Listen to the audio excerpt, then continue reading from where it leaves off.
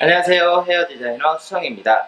오늘 스타일은 제가 앞머리 자르는 방법에 대해서 간략하게 제 노하우를 여러분들과 함께 공유하는 시간을 가져보겠습니다. 끝까지 시청 부탁드리고요. 좋아요 구독 부탁드리고요. 지금부터 시작해 보겠습니다. 앞머리를 자르실 때 굉장히 다양한 아이디어가 많은데요.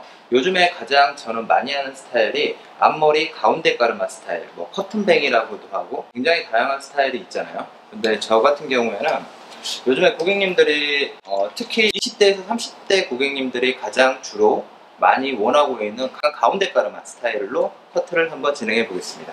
먼저 앞머리 트라이앵글 섹션 나누시고요. 앞머리 자르실 때 굉장히 다양하죠? 스타일을 만드실 때 굉장히 다양한 느낌이 많으신데 저 같은 경우에는 앞머리 자를 때 일단은 어, 코선으로 할지 입술선으로 할지 턱선으로 할지 아니면 눈선으로 할지 대략적인 느낌으로 형태를 파악한 다음에 일단 손으로 한번 이렇게 대보세요. 가볍게. 이렇게 대보신 다음에 느낌을 자릅니다. 이제 앞머리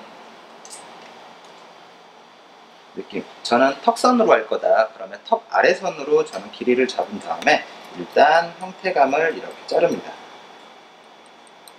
자르시죠? 일단 가운데 가르마라고 했을 경우 이 선에서 라인을 얼굴 반대편으로 가서 가이드 남기신 다음에 다시 라인 자르시고요. 반대편도 동일하게 아웃 지점 체크하신 다음에 길이 체크해서 라인 반대편도 이렇게 잘라줍니다. 이렇게 잘라주시다 보면 이렇게 느낌이 삼각형형으로 이렇게 앞머리 라인이 떨어지는 것을 볼 수 있으세요.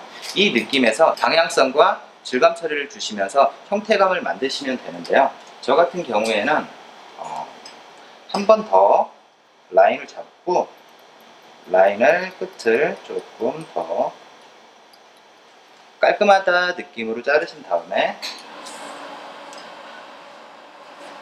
형태감을 봅니다. 어느 정도 이렇게 떨어졌는지 보신 다음에 뒷 라인에서 이제 질감 처리를 머리에 숱이 뭉치지 않도록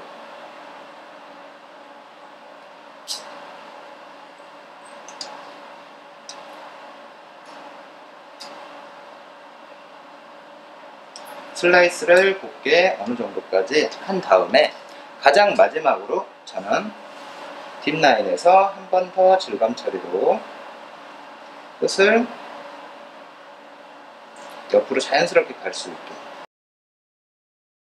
흐름 방향이 느낌이 좀 자연스러울 수 있도록 이렇게 중간중간에 슬라이스를, 슬라이스를 한 번씩 넣어줍니다.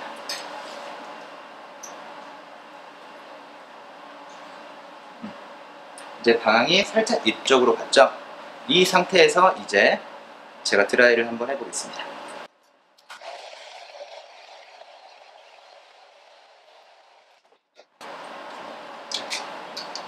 지금 앞머리 선 자체가 약간 뒷방향으로 얼굴형을 따라가면서 이런 식으로 만들어진 느낌이 보이실 거예요 이 상태에서 이제 섹션을 좀 나누신 다음에 너무 무겁다 싶은 부위를 살짝살짝씩 라인을 질감 처리를 해주시면 보다 더 흐름 있는 앞머리 natural 스타일의 앞머리가 연출이 되십니다.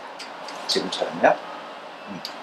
그 사람의 이미지를 얼만큼 더 예쁘게 해주느냐는 앞머리와 앞머리와 어느 정도 연결을 하느냐 뭐 이런 게 되게 중요하겠지만 앞머리를 자르실 때 저처럼 어, 어떤 느낌으로 낼 건지 먼저 생각을 하신 다음에 커트를 하시면 되게 중요할 것 같습니다 저는 이 커트를 할 때 이렇게 너무 사선이 아닌 그냥 부드럽게 이런 느낌으로 가는 느낌으로 형태를 요즘에 많이 잡고 있어요.